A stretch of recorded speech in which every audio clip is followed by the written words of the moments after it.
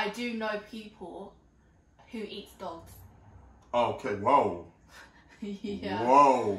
Yeah.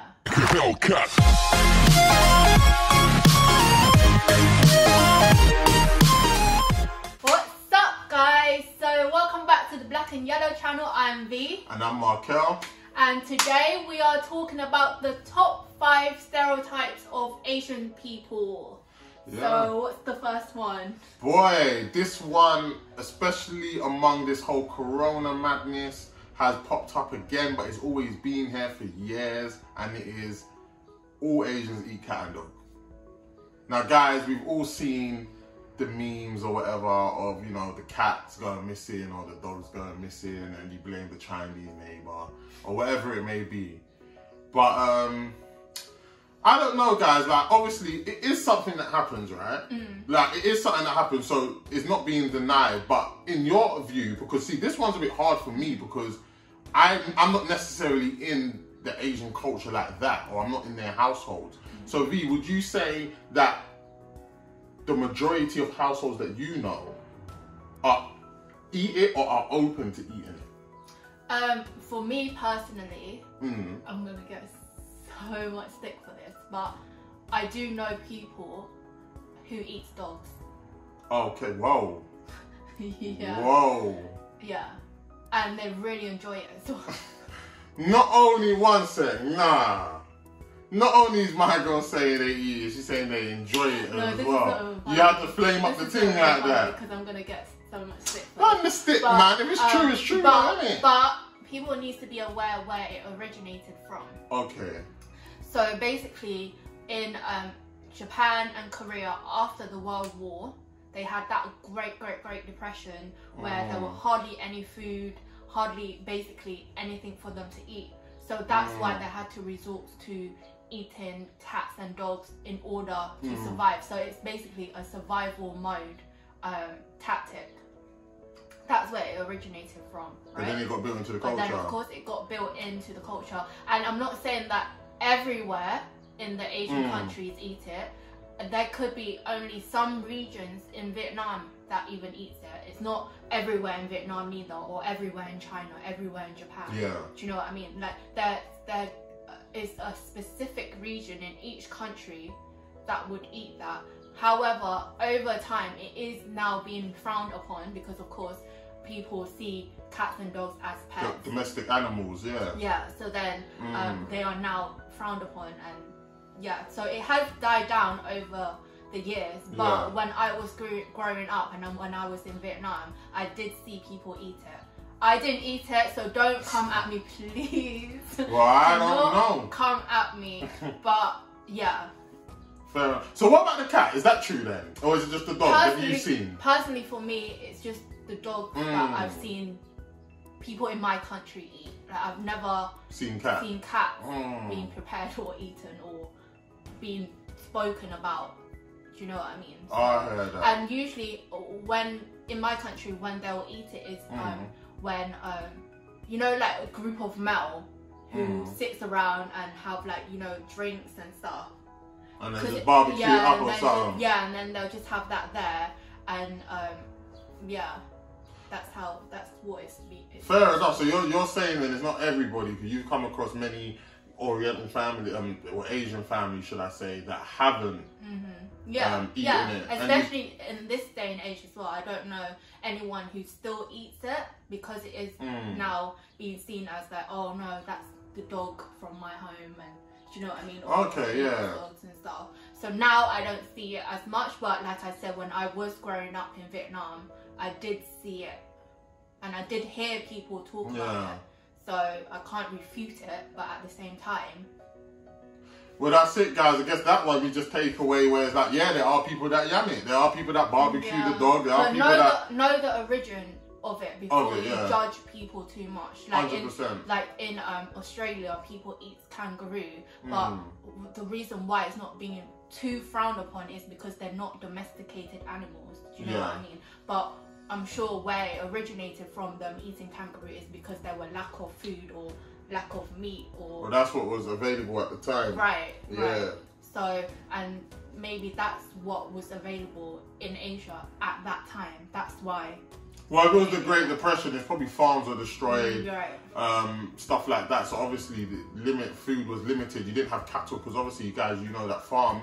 A part of a, a successful farm is to have live livestock and stuff like that, cattle and sheep and stuff. But obviously, if the economy is completely destroyed, the land is ruined, um, then you know there's not going to be a lot of people with cattle and this to sell in the market. So it's kind of like shit. You know, um, come here, boy, come here. No, babe, don't do No, I'm just saying that's what it might have ended having to be. Is like, damn, my kids are hungry. Come here, boy. Come here, and then, boy, Yeah. you know I'm trying to say, guys. But we'll move on. We'll move on. So Yeah. some do, guys. Some don't. I guess it's like everything in it. It's not black and white. Um, two. So the second top stereotype of Asians Mhm. are that we are geeky and we're good at math. Boy. Well, I mean, I listen, guys. When I was in school, yeah, there was one Asian brother. I'm not even gonna say his name in it. I'm not even gonna flame him up like that on, on, on the video. But this guy wasn't good at nothing. English, maths. This guy was just. And the thing is, he didn't bunk class or nothing. He was just. Is dumb. He was just. I don't even want to use the term dumb. He just weren't made for that. It's not academic. Yeah, like he was just there and he just wouldn't engage. It was just like you look literally like a dog, He was just like, and it was like it was crazy. Like Yeah. so, then from then I knew that that weren't true because I used to believe that, and I've come across various other um, Asian people in my lifetime, and they're just normal. They're just like me. Some were smart, some weren't. Some were successful, some weren't. Some was into crime and gangs, some weren't. Mm. I think for me personally, um, well, I like I, I, I know people who are good at maths who are, Mm. and know people who aren't. I know people who are socially awkward and some who aren't. Do you know what I mean? It, like like with everything, it depends on the individual um, themselves. And um, with the good at maths thing, I think where that stems from is Mm. because in our family, math is being dri- drove into our head like that's the most important thing that you need to be Mm. good at. If you're good at math, you're gonna be rich in the future. If you're good at math, you're gonna get all the Mm. good job. If you're good at math, you're gonna be a doctor, an engineer, um, a lawyer, all, all of that, right? Mm. So because of that, my family or, or the Asian family will more push you towards math. So Mm. you're basically naturally spending more time focusing on maths, the math Yeah. side or the logical side of everything. So then because of that, naturally, if you spend more time focusing on this specific topic, you're Mm. going to be better at it than every other topic, even if you're naturally not good at it Yeah. get Yeah. where I'm coming from. So I think that's where it's from. Like we're, we're just being driven from young. Do maths, focus on maths, focus on maths. Like if you come home and like my sister, she's amazing at English. Um, and she'll come home and she'll she'll tell my parents that yeah she got hundred percent in English. They don't care. They'll ask, Mm. okay, what did you get in maths? Do you know what I mean? So Yeah. that's the extent of. That's like a top priority. Yeah. yeah. so that's probably why. Mm, fair enough. Yeah, guys. I mean, do you guys know any Asian? Are you Asian yourself? Do you have Asian friends? Are you dating an Asian? Are they good at maths? Are they like a human calculator walking around? Sometimes we does scare me though. I can't lie, guys. I need to add that in. There's times where we've been in a store and we're adding out one and two and three things. You know what I'm trying to say? And then all of a sudden, black. She just has the price. I'm thinking, what? And sometimes, guys, it ain't even numbers, you know. It will be like 47 pounds, 50 pence, add 33 pounds, 90 pence, add 21 pounds, and boom, she's got it. I'm just like, rah. Sometimes I'm not gonna lie, it's hard for me not to believe, but if it wasn't for my life experiences, then boy, I'll, I'll probably be on the other side saying it's true.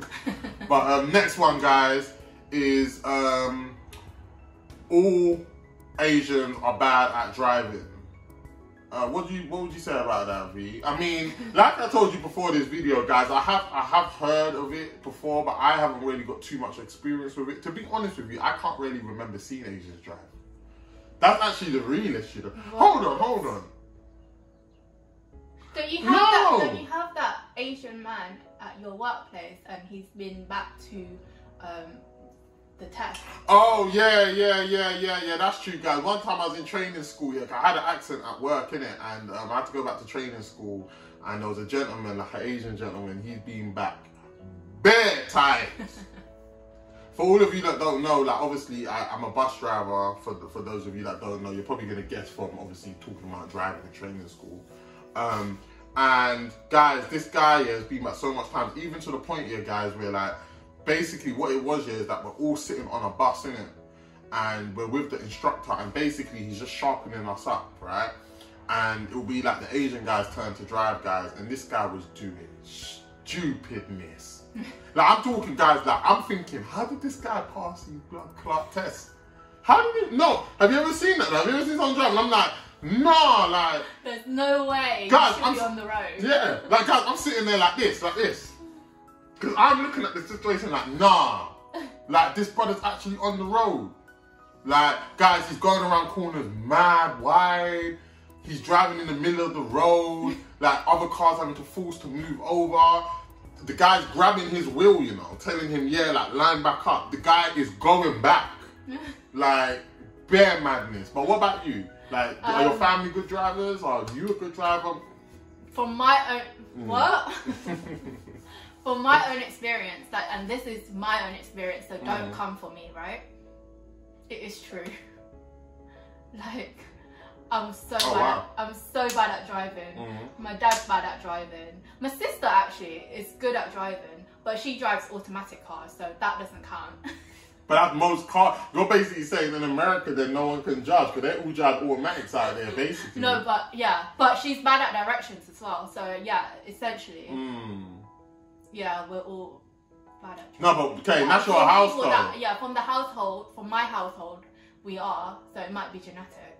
Um, but what about like cousins or friends or friends of the family? Like when you sat in people's cars. I mean, they seem okay. I mean, it's it gets me from A to B. But you do see where the stereotype comes yeah, from. Yeah, I see where it comes from.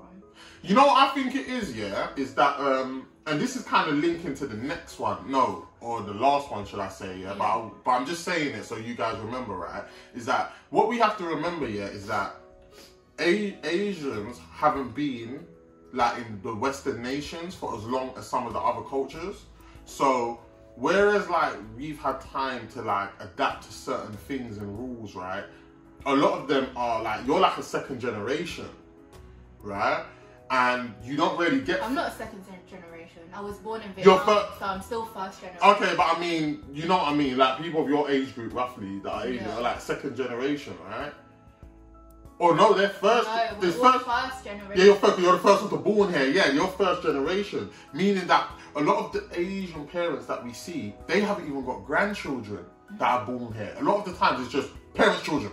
That's all you got, right? So they're taking a lot of their habits mm-hmm. from back home and bringing it here. So whereas like the blacks have adapted, the um, the Indians have adapted, and all these other various groups have adapted, the South Americans have adapted, is that they're still kind of on catch up. Mm-hmm. So everyone looks at them like, why the fuck are you driving like that? Yeah. But it's like they don't know that in their country, like what you said, there's not really mad rules like that. Well, I'm not going to talk for all of Asia. For someone from some like country or whatever, from Beijing or something, says, "Oh no, we got we got this, we got that." But I mean, you know, we all know, guys, back home, even in the Caribbean, driving ain't as organized as it is in Western nations. Let's just be bloody real. Yeah, um, I remember um, when we first came over here. I came over here when I was seven, mm. um, and I came over with my dad, and he's obviously he was a taxi driver in Vietnam, right? So he knew he knows how to drive, drive yeah. and everything. So he's thinking, I'm just gonna apply that and come over here, mm. and it's mm. fine in Vietnam, literally, you can run red lights. Um, you can just take mm. a piss. So, um, and you beat at every other second. Literally. But you remember when we went to Jamaica on my sister's wedding? It was yeah, like that. to let people know that you're coming mm. through, like beep beep beep beep beep beep beep beep beep, right? Whereas over here, you only beep if it's very very very necessary. So mm. when he mm. first came over and he was beeping the whole road down, everyone was staring at us like, what on earth? Like my mom had to tell him like, stop. Like, yeah, we don't do that. It's not like that over here, you know. But see that, yeah, that just links in, guys. So I mean, that sh- that kind of shines some light on maybe why that stereotype has. And to be honest, I think it links to number four, which is um, we believe all Asians are Chinese. Yeah, we're from China, and that's that's Mm. all that there is. Now, guys, I've been guilty of this, and I'm actually with an Asian girl, so I can see why sometimes people do slip up with this. Because obviously, one of the major Asian nations that we do hear of and see is China. They're like they're like the America of the Asian countries, basically. So obviously, um, every, every time we hear something that is Asian related, is usually China, China, China, China, China, China, China, China, China. So naturally, let's say I get into an argument with Vy, and I'm telling my friend, and they're like, "What, what, what was she?" I say, "She's Chinese." You know what I'm trying to say? Though, Rose. I'm not saying it's right, but I can see how it does happen because you don't hear about Cambodia, Yeah. you don't hear about Vietnam. I know, but I just think that's just lack of um, respect. Like, 100%. get to know where we're from um, before you Mm. assume that there's more than one country in Asia. Do you know what I mean? Like, we're not all from China. Fair enough, yeah. Like, have take out some time. It doesn't take that much of an effort to understand or to acknowledge where we're from. So sometimes I'll talk to people and they'll ask me, "Oh, um, so when are you going back to China?" Mm. in, in terms of like my holiday, like when am I taking my holiday to go back to China? And Yeah, I that's had to, I had rude. to, I had to Yeah. stop and I had to tell them, first of all, I'm from Vietnam, so next time ask me where I'm from first before you assume that I'm from China. Do you know what I mean? Because it is very, very rude. I can It's tell he's passionate about this one, guys. No, I'm feeling the energy from no. here. That's why I don't even want to say Chinese no more. I might No, get it's, hit. it's actually disrespectful. Like Mm. you don't have enough respect to actually take out your time To learn. to, yeah. to actually ask, oh, where are you from? It's a simple question. Mm. You don't need to naturally assume that I'm from China. Do you know what I mean? Hundred percent. And guys, see, this is actually the negative side of stereotypes. Is that sometimes, a lot of the time, should I say, actually, you actually end up offending people Yeah. because everybody are everybody's individuals, and once you naturally presume you know something about somebody without having the respect to ask them. It's, it's very rude and it's very offensive. So on that point But- of view, I, I do I do get what you're saying. But yeah. this is just not only just um from like me receiving it from like other races. Like I've Mm. received it from a Chinese person before. I lived in China for a year as part of my university degree. That whole year, imagine being Mm. Asian and I can't speak Chinese obviously because I'm Vietnamese, and then going to the market and um, I've got a white friend next to me who speaks fluent Chinese, and she's standing there um, translating for me, and basically the person in the market was standing there arguing with me um, that I am Chinese, I look Chinese, so I must be Chinese. Um, Crazy. I am way too dumb. Um, that's Wow. why I do not understand Chinese. And then I've got uh, because there's a little a, a little child that was next to her. He was running around me like, "You're stupid! You're stupid! You can't speak Chinese! Oh, you're Chinese and you can't speak Chinese!" It's like, really? It's like really that that's why it gets me angry because Mm. it's just like even like Chinese people think that only Chinese people But, but, but see, world. yeah, no, hundred percent. But you see, what the, the point I made on when this first question first opened up, when I said that sometimes all people are exposed to is Chinese, Chinese, Chinese. That just shows that even the Chinese people see themselves as an Asian powerhouse. Mm-hmm. Because I'm pretty sure that that woman knew China. It wasn't just China that existed. I'm pretty sure Mm-hmm. Know, she must have met so a, a Thai or Japan. No. So even Japanese, she must have known like Japanese. Yeah. Um, you know what I'm trying to say? But they must, they might think like, oh, but we all speak Chinese.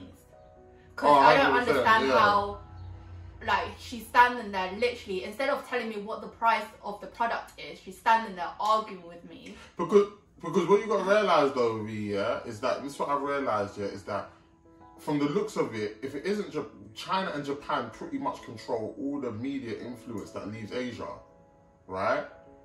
So in her mind, she like you said, she probably doesn't hear nothing about all the other Asian countries. So she's seeing it as China. We're the shit. Yeah. Everyone talks Chinese. We we pull all the power moves around here. So We're the uh, only important ones. We're the only so important everyone ones, Speaks our yeah. language. Everyone, yeah, is is us.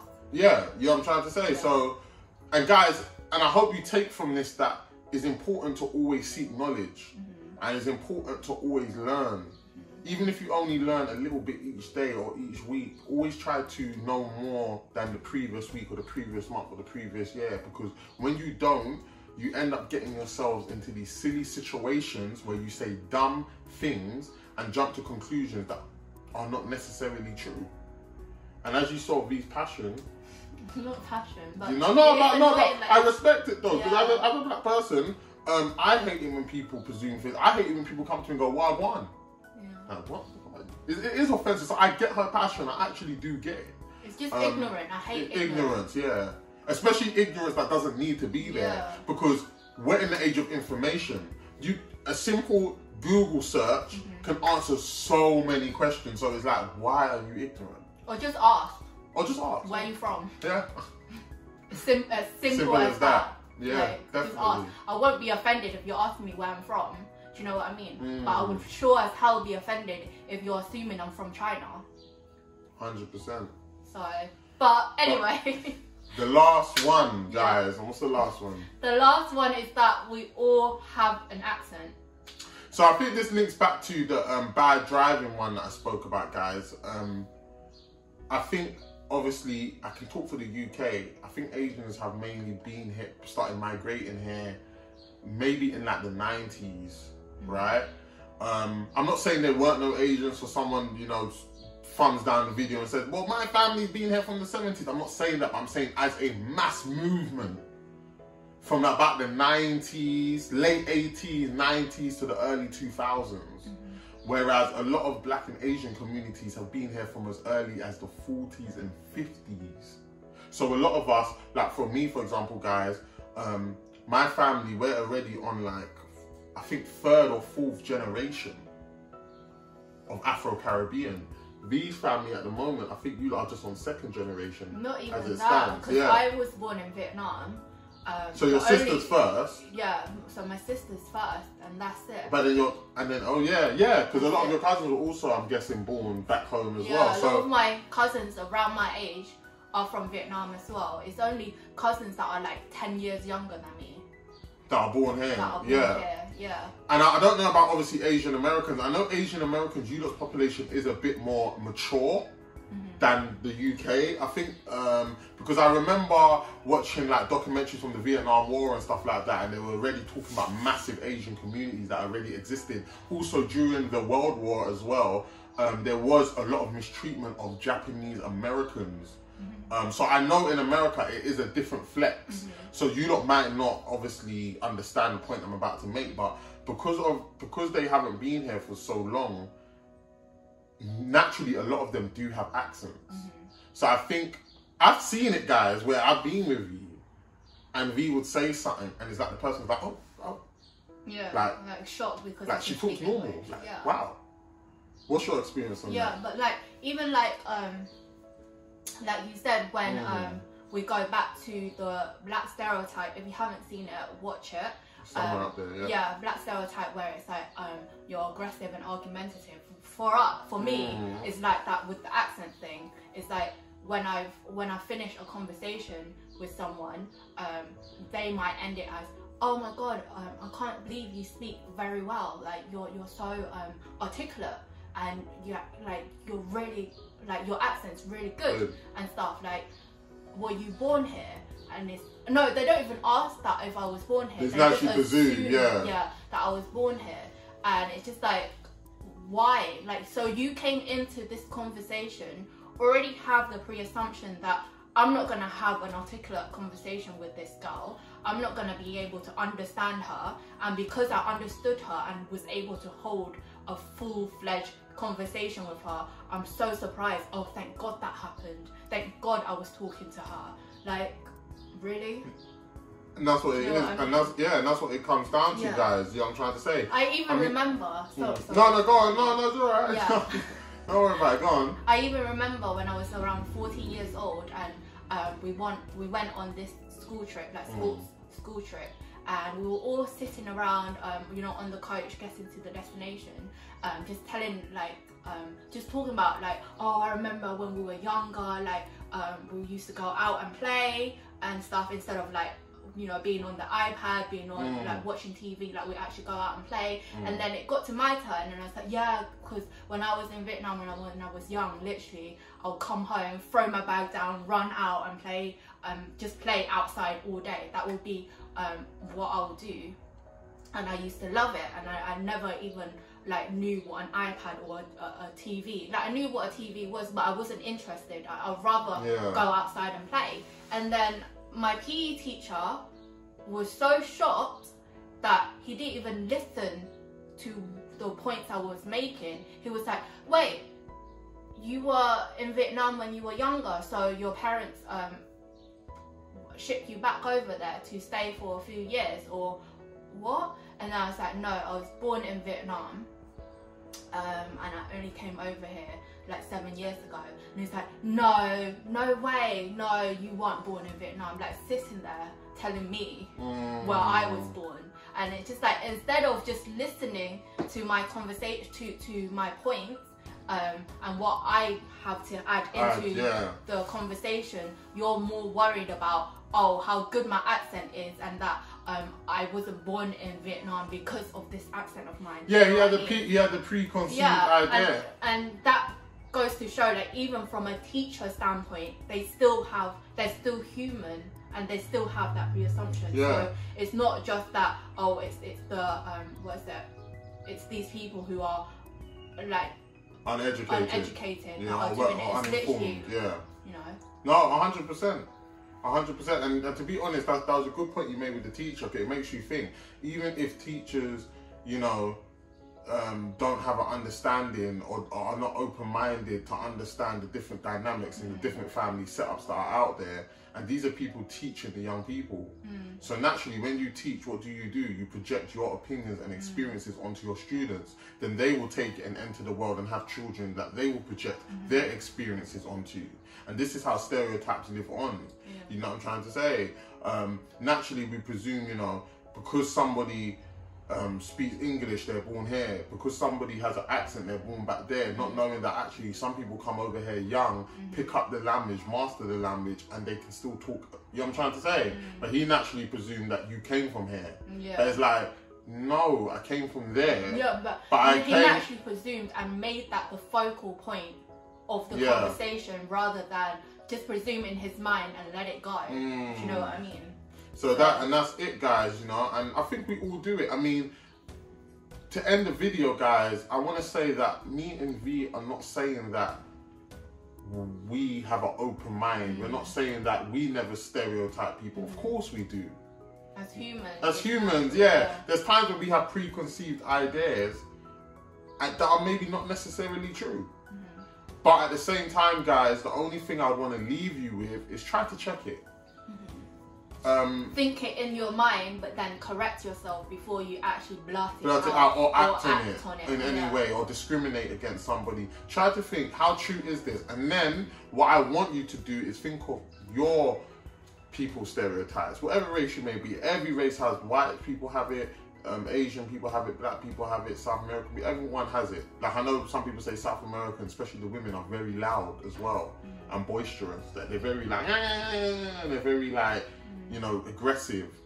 Are you, if you are South American, for example, and a woman, are you aggressive? Maybe not. You know, so um, just challenge your own racist ones, and then take it back and say, okay, well, if it ain't true about me, then maybe it ain't true about this person. And guys, yeah, so um, make sure you subscribe. Make sure you comment down below. Are we missing any stereotypes? Are you Asian? Do you agree with everything Vy said? Was she wrong? Was she right? We always want to hear other people's points of view, guys. Me and Vy don't know it all. But this is Black and Yellow, and we're out. Hellcat.